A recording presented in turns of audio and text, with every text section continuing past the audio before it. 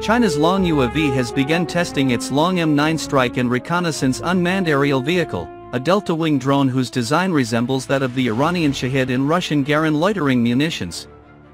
The manufacturer says the platform can be used not only for strikes but also for reconnaissance missions. The drone is designed to carry a payload of up to 50 kilograms, allowing for explosive warheads or optical reconnaissance modules.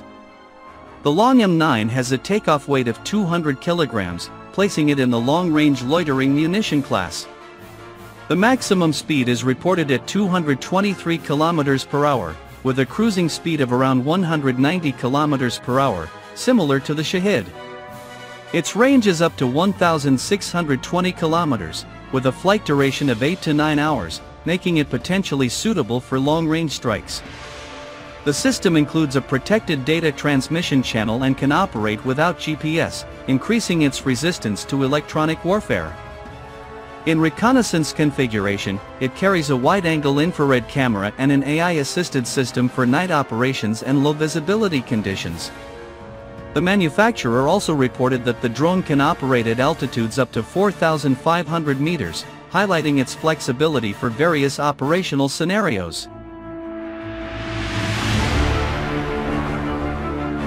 Recently, the R-60 air-to-air missile was first observed on Shahed drones, indicating that Russia is equipping some drones with airborne missile systems. Russia has fielded a new version of the Shahed 136 kamikaze drone armed with a single R-60 air-to-air missile. In principle, the heat-seeking R-60 would give the one-way attacker a way to engage Ukrainian fixed-wing aircraft and helicopters. The Shahed-136 is an Iranian-made loitering ammunition also called suicide or kamikaze drone developed and manufactured by Iran Aircraft Manufacturing Industrial Company. The company was established in 1976, it belongs to the Iran Aviation Industries Organization and is located at Shaheen Shahar, Isfahan.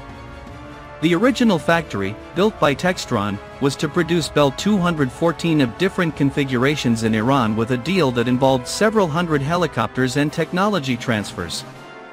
The drone is designed to conduct ground attacks. The Shahed 136 is not only a suicide drone and according to pictures released by Iranian media, Iran has also created a new way to launch the drones in a kind of multiple launch, or drone swarming, format.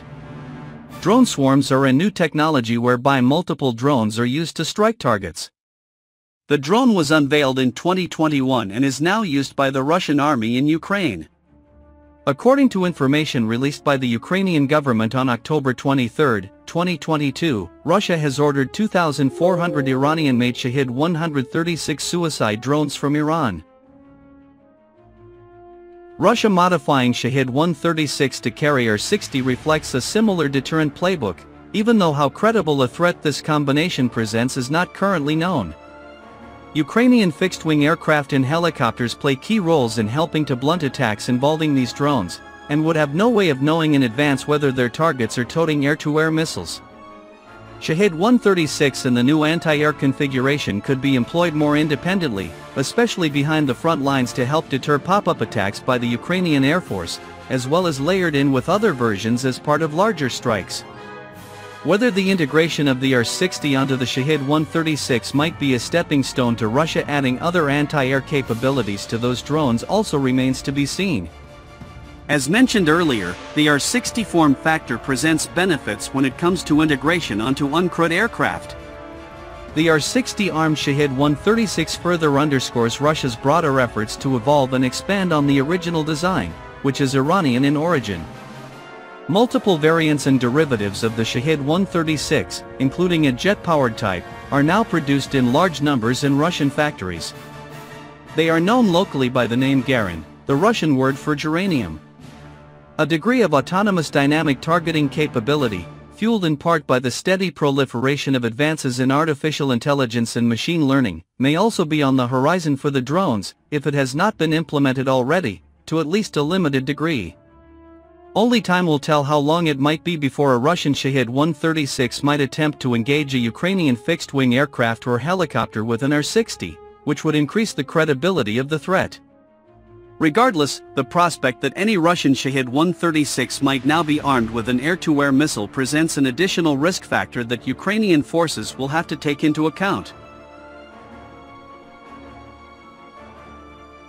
The Chinese company Loong UAV has started testing the Loong M9 Strike Kamikaze drone, which in shape and concept closely resembles the Russian Geran and the Iranian Shahed. Earlier, it was reported that Ukrainian forces captured an intact Russian-Iranian Shahed-3 suicide drone, allowing analysts to examine its mesh network control architecture, Chinese-made turbojet engine, and dozens of foreign-sourced electronic components used for long-range strikes.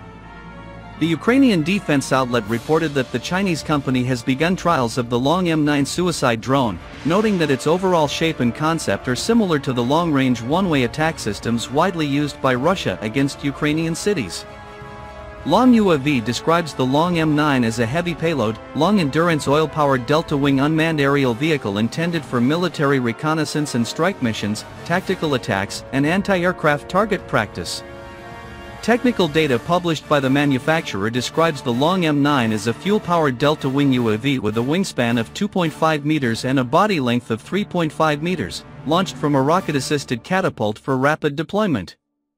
Loong UAV lists a payload capacity of 50 kilograms, an empty weight of 62.5 kilograms and a maximum takeoff weight of 200 kilograms, placing it in the heavy tactical category.